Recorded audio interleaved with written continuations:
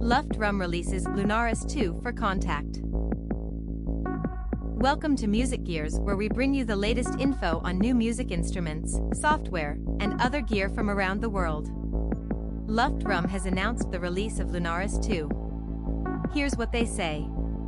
Lunaris 2 is the premier synth pads instrument for NI Kontakt player.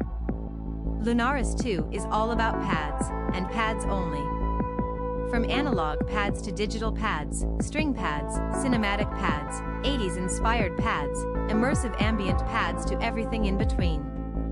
Price $159 and users of the original Lunaris can upgrade for $39. Please click the like button if you found this helpful, and if you'd like to stay informed on the latest in music gear releases and limited time discount offers, please subscribe. Thanks for joining us.